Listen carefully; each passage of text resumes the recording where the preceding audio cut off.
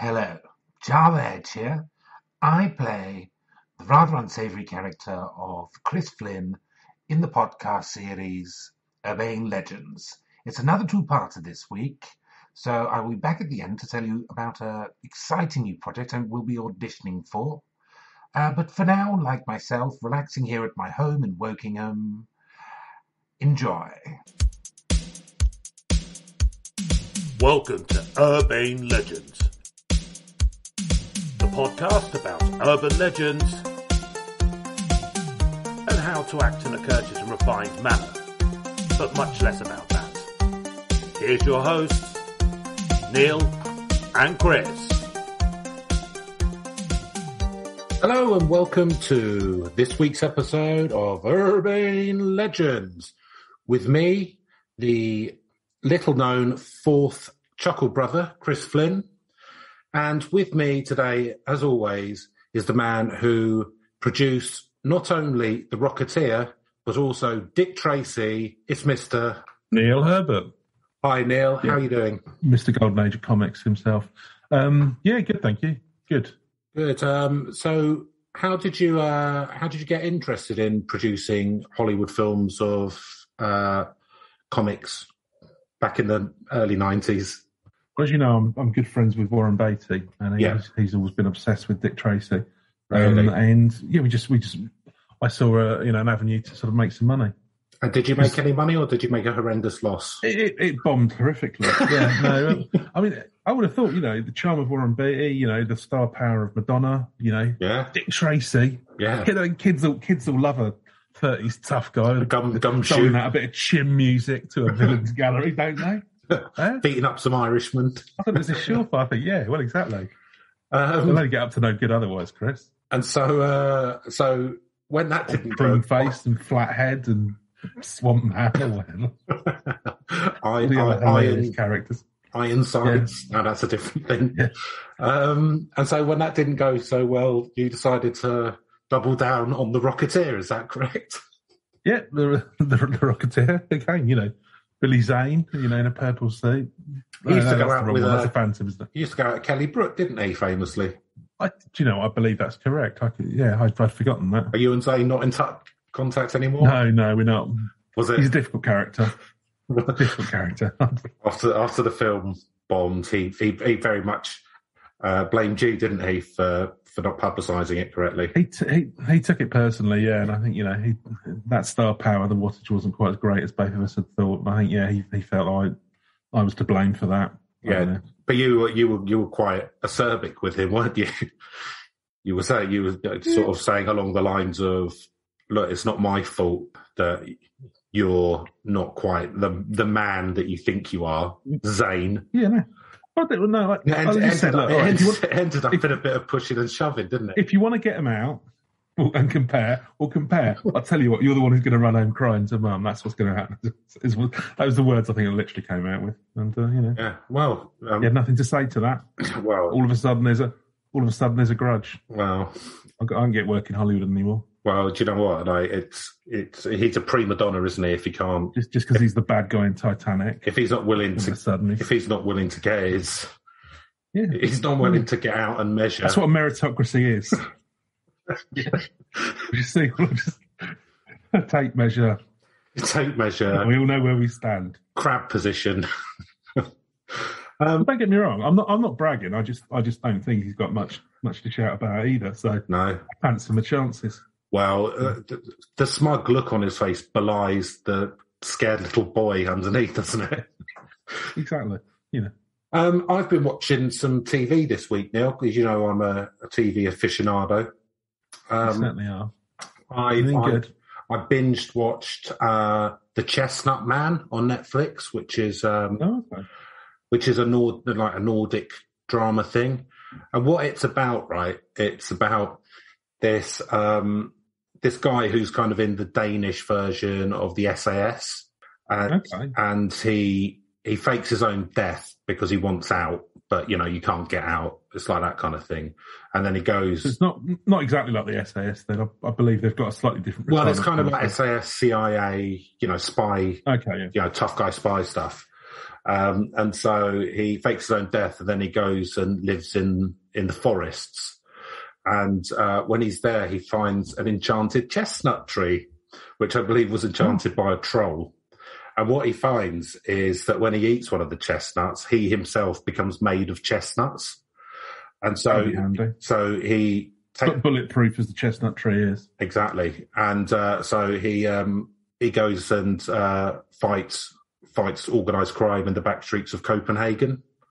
Um, it's not for kids. Don't get like you know. It sounds like it is. It's Okay. kids. Like it, it's ultra violent. The violence is kinetic and bloody. But um, Can he shape like his arms into spears and things like? no, like he no tree? no. Basically, his fist is like a chestnut, and then his arms are several chestnuts. He's like just basically like an anthropomorphic sort of chestnut. Um, and then basically the bad guys find out about the tree, and then he has to go and defend it. And um, They don't try and roast him then.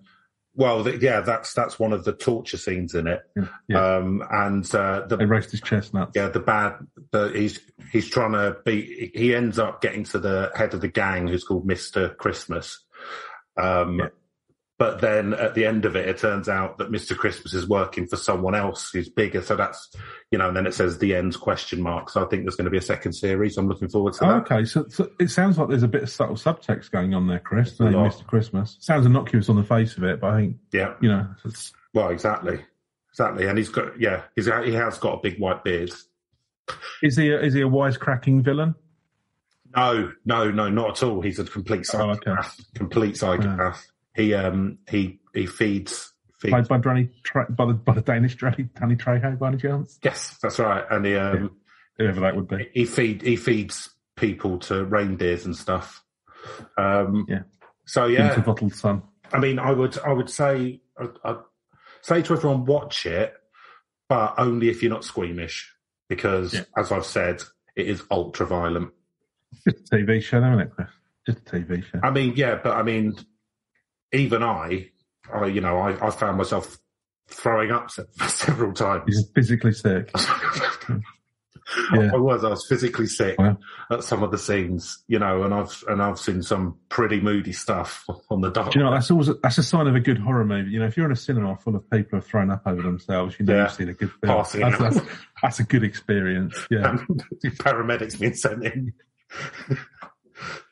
Yeah, you don't get that much these people days. get your defibrillated. Found kind of- footage movies. Yeah, Um, yeah, so um, there you go. There's my uh, my TV recommendation for the oh, week. piss and shit myself. Uh, Mur- murder on cinema furniture. There you go. yeah, so wa- watch it, but keep um, keep a, a, a cold compress and a bucket nearby. That's what I'd say. Uh, so Neil, I believe you're driving this week's urban legend, and it is Yes. from all of our Right. spiritual homes, Africa. Indeed, it is. So, um, specifically, the uh, Democratic Republic of Congo. Lovely. Congo. Um, That's yeah, an- and Congo's. See, people don't know a lot about African history because we're not taught it. But Congo's like the, the sort of the kingdom of Congo. It's fucking ancient. It's well ancient. They were they were a sort of well advanced civilization trading with the Portuguese and speaking Portuguese, and some of them turned Catholic back in the Mm. 16th century. So they were they were seen as trading partners, as equals, yeah, and then you got you get pictures from Portugal from medieval times of Congolese emissaries walking around in their finery. mm, Yeah, just thought I'd, I'd, I'd throw that in there, a bit of African history because people There you go. tend tend to think of it just as mud huts. Oh yeah, no, absolutely not. So, um, yeah, uh, those Portuguese did get about, didn't they? yeah, they were the original Not, not always for the explorers. better of. Yeah, yeah. So, Democratic Republic of Congo. So, um, Portugal, you know, of course, people- England's oldest ally. There you go. Just thought I'd add. oh, Portu- yeah, but yeah, yeah. Was it treaty going back to the 14th century or 13th century? I Yeah. can't remember. Um, yeah, There we go. A bit of history there for everyone. So you've got TV recommendations, history. barely remembered history. Neil, I- I've just I've, I've just remembered. I've not given you any etiquette tips. I was going to say, yeah, you, you usually do like to start out with an etiquette tip, but uh, We'll do it now. so feel free to uh, feel free to roll one of those out before I start um, or I launch into the um, story. Okie dokie. So DLC. we're gonna we're gonna go to China today, okay. the big country with a big heart. Um, so okay, so I'm just gonna I'm just gonna read you a bit here, uh, Mhm. and it's just general etiquette in China. Okay. Fair enough. So Chinese people are just as proud, if not prouder, of their countries as visitors are of theirs. Well, it's not more. It's not difficult to be more proud of your country than I am of ours, to be honest. they can understandably become a little irritated when visitors favour with criticisms of China. Would you be happy to hear criticisms, criticisms of your home country? Yes. Chinese people already know that not everything's perfect. And they also know that they, like other countries, are working hard to deal with the issues such as the environment and population. Discussions regarding politics, state leaders, recent history, and issues pertaining to Taiwan, Jiangxing, and Tibet are still seen as sensitive topics and should be avoided. Okay, Neil? I think that's fair enough as a tourist. I think you know you can. Oh, this place is if somebody brings it, somebody brings it up, then I think you're entitled to have your opinion about sort of you know Taiwan or whatever it might be. But um, yeah, I think shoehorning that into a conversation is pretty rude. So Yeah, you know, I don't- agree. I don't see why you'd need to. I think It seems, it, seem, it doesn't seem like a topic that you'd have to bring it up, wouldn't you? Well, you've ch- you've chosen to visit that country, so if you if your opinion is that strong, Yeah, don't- why, you know yeah, why fuck off. visiting really? And if, if you if you are, then um, you know I think yeah, it seems reasonable. I would say if it comes up in discussion, someone asks you your opinion, and I think you're entitled to, to say what you think. Yeah, Okay, so here's one which is slightly more left field to us. Mhm. Never write in red ink. Red ink is a symbol of protest and criticism and best safe for teachers correcting students' homework. Another reason as to why you should never write in red ink, particularly when writing someone's name, is that red ink is used to mark the names of criminals condemned to death on official records. And write but what if I'm what if I'm tutoring some uh, soon to be executed criminals about about the history of revolution? They've done some placards, but I need to just give them some pointers. Uh, I think you just have to judge each case on its merits at that point. Yeah, I mean, Play it by ear. Yeah, I don't. I don't think that fits Yeah. into the general the general rules. bit of a niche case, would you say? Fair enough. Yeah, although I know that you have been you have been sending a lot of applications to Chinese prisons to use your TEFL qualification, haven't you? Yeah, well, I just, you know, I've, I've you know, alongside my revolutionary Marxist beliefs, So, I combine those two together, then I'll be all the happier. So It doesn't go down that well, I'll be honest with you, but know, fight for what you believe in. red is also used to write their name on tombstones. So you know, you know forever. Need another reason? Red ink is sometimes used to convey bad news, such as someone passing away or a breakup letter. Oh, is that why you keep sending me those dear Johns in red ink? Well, that that that it's not red ink; it's blood. But where it comes from. The best thing you could do is avoid using red ink altogether. The last thing you want to do is upset your new friends by writing them a thank you letter in red ink. imagine, imagine, Neil. Imagine the consternation. I've made a I've made a right little howler, and then I've, and I've mixed up the um. Oh, it's not kanji, is it? What's the system in uh, in China? I've forgotten. No, Um, don't know.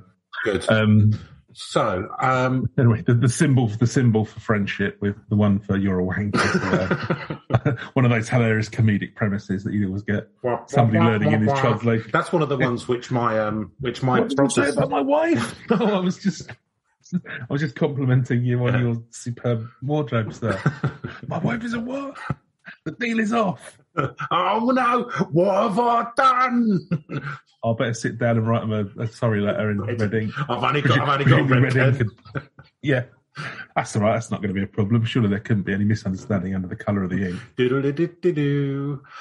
Um, so Oh, this one is Oh. in stark contrast to our etiquette um, about India, and it's around punc- Okay. it's around punctuality. got to be careful, don't you? It's like This you know, is the, why the, these the lessons thumbs are important. symbol. The thumbs up symbol is kind of like um, you know that's quite offensive, I believe, in parts of South America. Is it?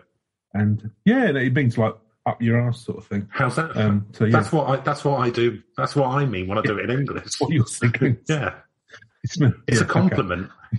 I'm being friendly. I know, I know, I'd, no, I'd like to. Be. Um, yeah, and apparently some people have taken the OK sign and turned that into some kind of Nazi salute. So thanks for that. Tiresome, tiresome, fucking alt right wankers. Anyway, Yeah, I mean, you know, soon waggling your eyebrows is going to be considered.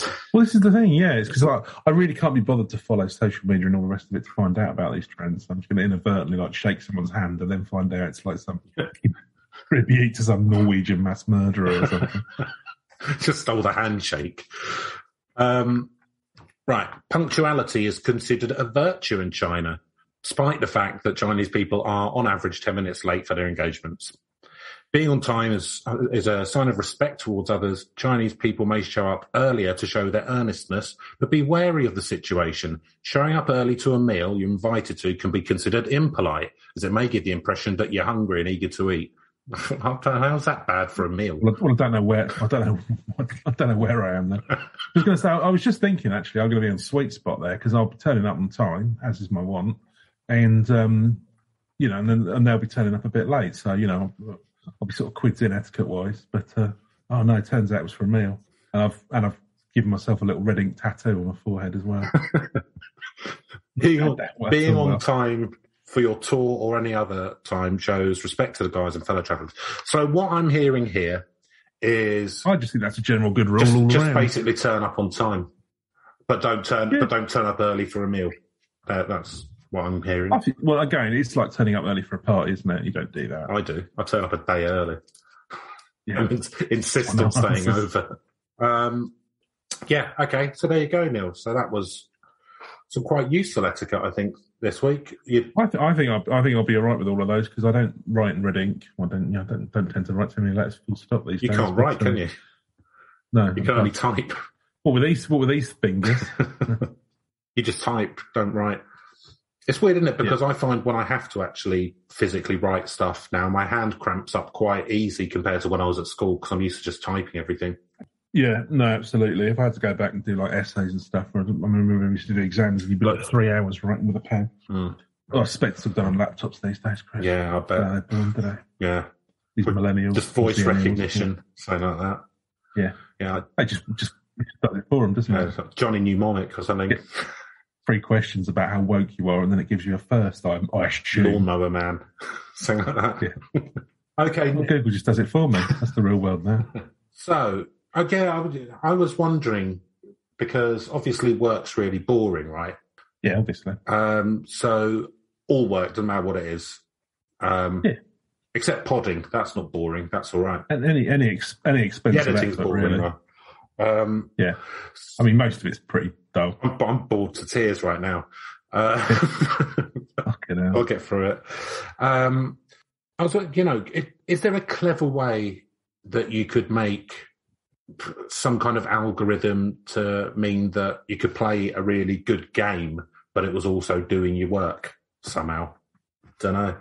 I don't think many firms are going to invest in that kind of technology, to be honest with you, Chris. Satisfaction of the workforce not necessarily being the top priority for many organisations. yeah, that's true. Oh well, it's just a little. No, it depends, depends on your work as well, doesn't it? I mean, if it was something that an algorithm could do, Hot you, carrier. to be honest with you, you've, yeah, exactly. Well, you know, if it's something physical, I was just thinking like some poor chap in Amazon pissing in a bottle because they've got, you know, get X amount of packages out or whatever um, in their shift or um, or hod carrier, as you say. Um, Yeah, but delivery do that. delivery And if it's jobs will be if it's office based stuff, delivery jobs then, will be out. There, there won't be any in ten years, will there? So yeah, I don't know if it'd be that quick, to be honest with you. 10, or 15 Well, years. it'll be drones. It'll, be, it'll just, you know, it'll be an electric vehicle. It'll be an electric vehicle, and it lets you know on an app that it's outside, and you go up, and it just drops it into a slot, and you take it. I would imagine something like that. Why's it got machine guns on the side Amazon? Oh, you're not saying. Well, because, because we've run because we've run out of natural gas, and we have no food, so so people will try and raid it. Yeah. So you know. Um, I'll be honest with you, we'll sign up to that as well. We'll be like, fair enough. mm, vote it Got a few dead neighbours if we can keep up the Amazon delivery. Vote it in. Vote them Not in. going down, not going down the high street anymore. What the fuck do you think I am? This is Buck Rogers fucking from time. I was thinking about this the other day. The whole um, uh, high street like beds because you can get stuff delivered now. for, because of the internet. But you could always get stuff. I know it's much more prevalent, but you could always get stuff delivered from the catalogue. It's just that, isn't it? Yeah. Uh, bigger. Oh yeah, but it's much more it's much more convenient there, isn't it? But I mean, it's a. I mean, I do understand. You know, I, I, I understand shopping locally and all that kind of stuff. But at the end of the day, you know, we're in a unfortunately ultra capitalist society. So surely the fact that people just want stuff delivered, that's you know, that's what's going to do. Well, actually, my my hope, and it's you know probably just being overly Oh, there we go. Oh, dreamy dream boy. Oh, the dream Yeah. boat, Neil Mm. Herbert, dreaming away on his Every, little, on his little cloud made of rainbows, right? Yeah. And unicorns. Yeah, good. Um, no, because I think no, no, no, because uh, yeah, yeah, yeah, and all of that. No, I, I think um, potentially, you know, what could happen because you think about it, the high street got, you know, originally you- you would have like small local shops, yeah, and then they got all took over by sort of the big chains. Yeah. Which now, you know, people talk about the death of the high street, but actually it's just that a lot of the big chains sort of going out of business because other bigger chains have consolidated on them um, and had more efficient ways of channeling stuff out. But I think, you know, what you might see is more sort of, in, again, independent business. Do you think that we? Do you think? Do you know there's there's a there's a fucking one of the best ranked um where near where I work, Trafalgar Street, um and it slightly infuriates me. But good luck to the the lady who runs it. There's a fucking Harry Potter shop, Ugh, and they sell wands and buttered beer and what? all this nonsense. But do you know what? I, I mean, it, it's gone down a storm with people. He's top rated on TripAdvisor. He's getting he's making money hand over fist. I suspect. Well, good. I mean, yeah, Good luck to him. not not Good luck to not him, for you me, know. but I mean, do you do, do you think Exactly, local. You know, he's Do you going think to that spend that money locally. do you think that there's locally. there's much more of the market that we can saturate to open up more vape shops and secondhand mobile phone shops to to re- to replace all of the current businesses? Firstly, the vape shops need to go inside the pound shops just to make that more efficient, um, and, and also the mobile phone repair. Um, yeah, well, that, And I mean, in, in no way are vape shops or those second-hand mobile phone shops a way to launder money. In no way at all. I mean, yeah, that is the one thing I suppose. Living in Brighton, we're probably a bit more blessed in that you get get more of a kind of like. I mean, I don't know how many more coffee shops can be opened. Hi, Well, I mean- actually, probably quite a few. I went along Western Road on the bus the other day, and um, it's pretty depressing. Although, pretty much what they're doing is they, It's turned into London Road now. yeah, and That used to be my London, barometer for London- slightly depressing. You know, you'd have like three pound shops within walking distance and London of each Road's other. turned into Beirut. No, um, no, London Road's probably doing as well. As London, London Road in the nineties, mate, used to be a lot worse. I know, mate. I was here. Skagheads knocking about. Yeah, Um, no, Western Road. but what seems to have happened is just loads of like every shop is now turning into a cafe or an eatery. So I don't know. I don't know how sustainable any of it is. None of us know what's going to happen. So we don't. But I think you know, there's an opportunity there for people to start their own businesses. So you know, good luck to them. And if you're, you know, yeah, but I don't. I'm, I'm not going there. I don't like walking into town. It gives me panic attacks.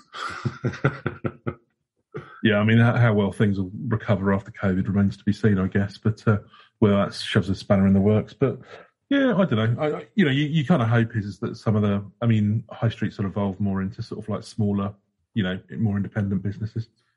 Maybe, maybe not. and speaking speaking Cut of all of that nonsense out. capitalism and trade, that brings us nicely back to the Congo, where uh, where I believe at least That's where our, some where of our our some of our reports are from. I believe some are from Zaire as well. Um, well, that's the old name for the um, DRC, isn't it? So you, No, Zaire is its own country. Mm, Yeah, it is. I'm going to check that. I'm going to fact check that because I think Zaire Nope, is the old name. incorrect. Okay, well, I'm, I'm sure I'm wrong, but uh, so according to Wiki, I can't always trust Wiki, but they usually usually them stuff like this. Zaire, officially the Republic of Zaire, was the name of the sovereign state between 71 and 97 in Central Africa that was previously and is now again known as the Democratic Republic of the Congo. Zaire, officially Republic of Zaire. Uh, oh right. Oh, that's weird. There you go. Oh, how weird! I thought because uh, there is still Congo as well, which is different. Oh, okay. I didn't realise that. Well done, Neil. I thought Zaire was still a legitimate country. I wasn't 100%, but um, No, Yeah. Um, anyway, so yeah, so D- DRC they're calling it now, and uh, yeah, no, and I think there there was one I was looking at earlier that was, um, but it's a different one. We'll come to another week that, that was spread over different ones, but this one seems to be um, seems to very much be around this part of Africa. So this is um, a bit of African folklore called. Um, so it's a creature called the biloko, hmm or the singular is Eloko. So Biloko is kind of like the collective name for these entities. Or if, you see one of them, and good luck with that. If you do, um, then it's Eloko. Um, The pair of them's Eloko. called uh, Moloko, like the band. yeah, they had one or two good tunes, Hmm. as I recall. the time is now. There was what was the one? Was it? Um, that was a sex boy. That was uh, there was um, oh, I can't remember. I just remember is that the um, the guitarist was sort of like quite short and gothic, and they had like a huge drummer. He looks about eight foot behind that kid. Oh, bring it No, back, the one- swing it back, bring it back, bring it back to me, sing it back. Oh, I, I think I'm thinking of a different band. I think. Right, let's not get into nineties pop. Oh. Um, right, the Biloko. Go in, loco. So it's a down with the Biloko. it's a forest, a, a for, oh, going loco down in DRC. Um, 80 pop now. So right, start again. So a fascinating piece of folklore for the African continent uh, is the tales of the Biloko, a forest-dwelling army of vicious dwarves. So they're part of the mythology of the Mongo people in the DRC, Democratic Republic of Congo. Um, and so just looking, just doing a bit of um, reading here from a, a an article on Face to Face Africa, Chris, Mhm. um, just to give them a shout out. So they're also in tune, apparently, with astrological observations that the folklores tend to mimic creators' environments. Yeah, so- um, just in the case of this, So, I mean, this could be kind of a memory back to, you know, like pygmies, that kind of thing, or, you know, they found those really tiny humans somewhere in Indonesia or um, Papua New Guinea or something. They found the skeletons of these humans that died out maybe a couple of Mm. thousand years ago, but they were really, they were, they were hominids, but they were really small. So it could be, it okay, could be a memory. because them. pygmies, where, whereabouts are they? They're, they're a specific sort of um, fr- that's, um, tribe. I think they're a different part of Africa. I think they, pygmies are Papua New Guinea. I thought they were um, African, but It could be again. oh, actually, so well, that's an interesting one, yeah, because they are hunter gatherers of the Congo Basin. Oh, there you go. So yeah, who knows? An adult male of a pygmy is about five foot one, so that's pretty small. Yeah, they're Rwanda, Burundi, Uganda, and the DRC. Yeah, they are in, are in them. So who, yeah, maybe maybe there is. It doesn't mention it in the article here, but yeah, who, who knows? Yeah, and so um, it- but it's it's an interesting bit of folklore because it's uh, you know it's, it seems to be this particular one, the Biloko, seems to be unique to the um, to the DRC, which is Um, about the size of Europe and- anyway. It's huge. yeah, absolutely. Yeah. And so an Aloko is believed to be the lingering spirit of an ancestor, and their vengeful spirits with scores to settle in the world of the living. Oh, nice. But scores to settle. You don't want you don't want to mess with these these chaps. I don't believe. You Um, owed me a tenner when I died. I've got a few scores to settle. I wonder how petty these scores could get. Um, I mean, I, I, you nick one of the I. I heard some of the Eloko sent letters to Robert the Doll, so I mean, pretty petty. Hope they're respectful in their in their letter writing. send, send him plenty of cocaine. Yeah, l- listen to our Robert the Doll podcast if you don't understand what that is. But uh, he, he he loves being sent some ironic gifts. or he likes being sent stuff which the staff also happen to like. Yep, so yeah, money, candy, cocaine, spliffs, anything like that. Please forward on to Robert the Doll. Um, you know, or take take take into the rainforest of, of the um, the Congo. well, he's got his little sailor's outfit on, so he'd be, he'd be all right to make the journey, wouldn't he? Yeah, Toot, toot. he'd fit in with the navy, wouldn't he? That'd be that'd be fine. We, we want we want you as a new recruit. I don't know how well he'd he'd work out in the rainforest though. Uh, the damp. But I mean, he is haunted, Yeah. so What happens? What happens though when the the uh, the vessel for, for the haunting is sort of like well, he'd probably gets damp and mouldy and falls apart. he'd probably be about the same size as the Aloco as well, wouldn't he? Because he was um, a life-sized child doll, and these ones are tiny. Yeah. So I don't recall whether he was a particularly vengeful spirit, but uh, I think you just you know you didn't you didn't want to cross him. Yeah. I, Anyway, look, this is not about Robert the Robert everything's the about Robert. Um, the Doll.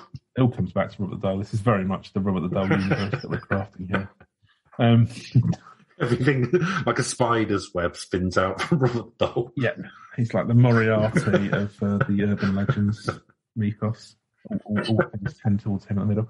Um, so, in different African myths, um, certain reasons can keep the spirit of an ancestor out of the world in which it's supposed to be. Mhm.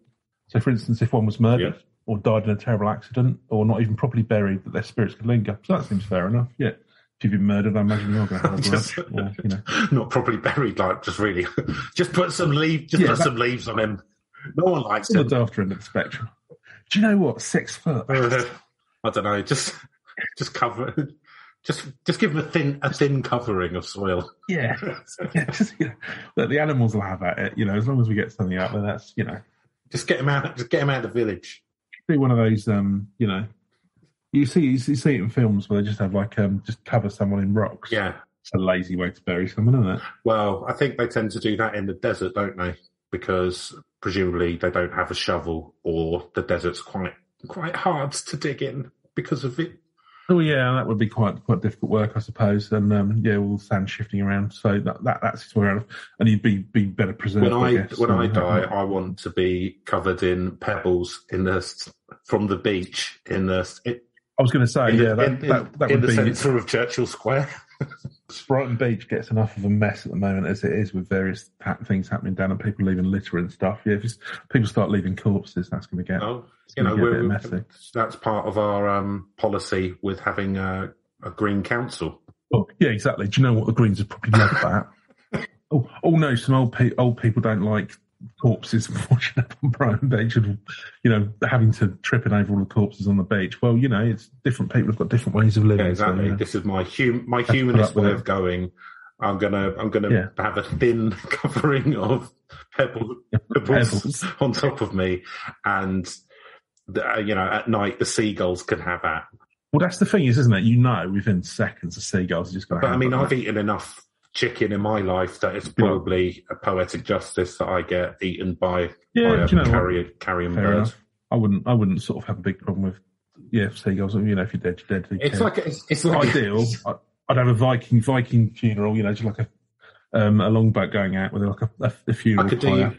But I haven't. I haven't earned that kind of an exit um, in any way, shape. I could do you a so rubber dinghy covered in petrol if that if that would work for you. You just people can just fling like big big Molotov cocktails. try and set it ablaze. It's just a really violent ways. People just heaving Molotov cocktails at your corpse, which is in a dinghy ten foot off the off the beach. I could sell one tickets. that would be quite good. Did you, see there was uh, yeah? Or if you just fill me fill, I just like fill me with C four, and then do like a trebuchet and just launch me into the air over Brighton Beach and then blow Fire an arrow into you while you're going. Yeah, well, whatever. fill you, um, fill you with um, uh, fireworks. So you go out with Yeah, a yeah. beautiful bang, and, and when it blows Yeah. up, then it it's um, it does a big American red, white, and blue flag. That would be even better. Yeah, I just want maximum coverage, basically. Just I splatter as much of the beach. so actually, trebuchet you from the beach into the town. Oh, yeah, that could work as well. Yeah, Into um, the yeah, maybe over sort of Churchill Square or something. Yeah, all the lanes. Yeah, that'd be good. Ah, good. Well, um, just I've noted that all down for That's- um, That's my last will and for testament. if you go before me. And if that if that doesn't happen, I'm going to turn into an Eloko, and uh, there'll be some haunting to come, or, or, or whatever the Brighton equivalent is. Um, okay, so there are also cases. So we talked about there's, um, you know, in African myths, you can, you know, you can have the spirit of an ancestor, um, you know, uh, not not going going across peacefully to the afterlife because they're murdered or something like that. So giving them a reason to be a vengeful That's spirit. quite But- standard, isn't it? also That's where they- standard globally. yeah, yeah, I'd say I'd say that's that's pretty um pretty standard uh, to sort of uh yeah kind of folklore and mythology that you have here as well, sort of certainly pre-Christian. Um, and there are cases as well apparently where spirits. is- Again, this is not dissimilar to to what you might um, see in Europe and stuff, but uh, in America, you know, where spirits of certain things they want to complete in the land of the living, they want to stick around to help a relative or friend nice. to do. So I don't. I think this is more just kind of like African folklore rather than specifically what's creating the Biloko because they seem to be more I would um, just two Um, things. I'd like to say sorry if you can hear any rumbling or noise in the background. Uh, the people upstairs are doing something to the flat. Um, so if it's picking up on that, sorry. Uh, the second thing I wanted to say is, did you see uh, that in the British Museum they have discovered on an ancient Babylonian fresco or, ta- or tablet the first ever drawing of a ghost. I believe that you were you were part of that team, Neil, weren't you? You went in there with your divining rods. Yeah, I, I mean, at, at my insistence, due to the amount of funding that I've given them, I, uh, I insisted on bringing along a PKE meter. Divining rods, PKE meter, and you The divining rod, PKE meter, and um, and a petri dish for collecting ectoplasm. I didn't, I didn't need any of these devices, as it turns out. But, But yeah, so but you managed to prepared. find the earliest earliest ever picture of a ghost, Neil. So um, yet again, proving your credentials as England's foremost spiritualist. Yeah, I'm very much the UK's Zach Bagley, I believe his name, I believe his name is, without the frosted tips and the uh, sunglasses on the back of the head. I must Which he which he uses regular so glasses. that he can walk into rooms backwards to trick ghosts. Exactly. Then they then they haunt the back, and then can You hold the back of someone's head. That's fine. You that you know Yeah. that that the, the spirits don't get Yeah. at you. Well, I think he took that one from Jason and the That's Magician, right. wasn't it? That's he's Yeah, he put he had some. He wasn't a mirror. He had some sunglasses Yeah. on the back of his head, and then the Medusa tried to turn that into stone. used up used He got out his mirror and used went, up all its stone power, and then while it was all Yeah. puffed out, he chopped its head off. Yeah. I, bel I believe that was the story. And the uh, yeah the the acid blood frosted his tips. Which which he's left there And then- as as a reminder of how rad he is. Exactly. And then King Pelagius was like, "Oh, this, Whoa, this guy's dude." stone cold as dude." Whoa, Oh, sick. radical. um, Or, or possibly that was an 80s movie. I can't remember. One or the other. Oh, that, Probably that or ancient Greek mythology. Um, same yeah, thing. probably both. Bill and Ted was largely But the- based on uh, the- the, it uh, was the Odyssey, wasn't very it? much so. And of course, Oh, oh Right, Brother, anyway, Where Art Thou so- was both based on uh, the Iliad. So this is uh, so the article telling us that it's not akin to the Catholic idea of purgatory. So apparently, it's quite rare to find in African cultures um, adjudication of people's lives in the afterworld. So it's not a case of um, you know the spirits need to do something in order to go on to the next to phase. around. Do a bit of haunting. yeah, you know, he just they, they, they, there's there's less of a sort of judgment area apparently, which is nice. Um, Well, again, that's that's a Anyway. very Abrahamic thing, isn't it? And Yes, well, yeah. I say that, but uh, but then they probably got it from the ancient Egyptians, where you would weigh your heart against a feather. weigh the soul or whatever it was, wouldn't they? Yeah. What are you doing there, Neil? Having a boogie? I mean, uh, no, uh, my back's a bit. Sorry, I did say if I step up Okay. and down, then. Uh... Right, so we finally get to the point. The Biloko live in the darkest, and most dense parts of the forest in hollow trees. They're covered in leaves, but one can see their soul-piercing eyes. Like Mossman? There's a uh, yeah, well, there's there's a picture here. Or Parsley the Lion. Very yeah, it looks. It just kind of looks like yeah, some sort Woodland. of I don't know, Lord of the Ringsy type character. It's a, it's a red fella with sort of white spirals. So are they kind of like because you know there's the the shoulders. ancient thing of the Green Man, which is like the forest bloke. Um, coming to life like Predator. well, the Green Man is um, in, in it's like a very ancient pagan thing, but it kind of carried on, and he's carved into quite a lot of churches. It's like about yeah, it's Okay. like um, um the, the man of the forest who's like made of leaves and stuff. Yeah, it's just a sort of um, a metaphor for nature, I suppose, isn't it?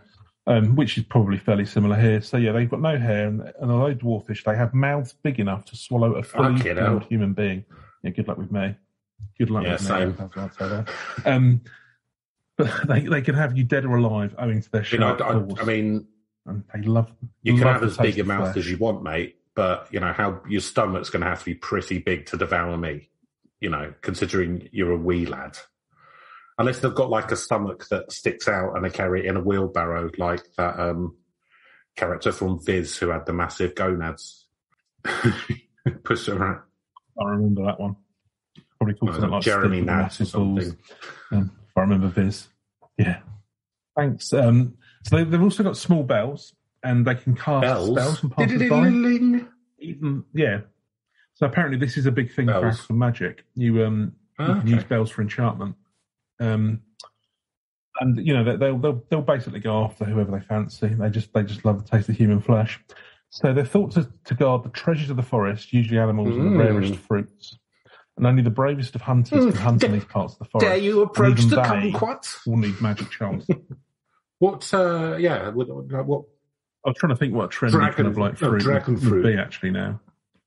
Yeah, I don't Yeah, know you what the can latest get a thing is. called kiwi berries now, which are like which are but like like Oh, really? grape size, but you bite into them and it's a kiwi fruit, but you can eat the skin and stuff. That they've.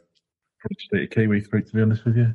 What, what Um, do you mean less less hassle? It's clearly more hassle 'cause you have to eat a kiwi fruit like an egg, whereas these you just eat them like grapes. They just slice it in half. how's that less hassle than just eating it? Fair enough. No, do you know what I mean? I mean, like the sourcing them and all of that sort of thing. Because I, I mean, I remember when kiwi fruits were the hot thing Yeah. in the uh, late eighties. Everyone had t-shirts with rare. kiwi fruits on. Yeah, Yeah, absolutely. Yeah, we used to, you know, have a kiwi fruit slice over each eye. really stung. Oh yeah, because you couldn't you couldn't afford too many of them. To be honest, there was like five pound a pop back in those days, so you you know rotting away by the time you were sort of getting. I don't mind the kiwi Um, fruit. I'm not mad on them. I like kiwi fruit. I haven't had one for a while actually. Mind me, I have to sort myself. I was I was reading somewhere an article actually because obviously a lot of them are grown in New Zealand, but um, there's a particular strain of kiwi fruit that's selling really well at the moment. I think it's like a golden something or another. Um, it's a s- particular colour that's supposed to be especially tasty or what have you. I don't know. Um, and yeah, I think um, it's a bit of those ones where they're having a bit of a trade Oh. war with China because, um, well, a bit like where we stole silk um, during the Silk Road years. Um, stole a secret of silk from the Chinese and or the well, the Portuguese and Italians did first, but then sort of came over into Europe.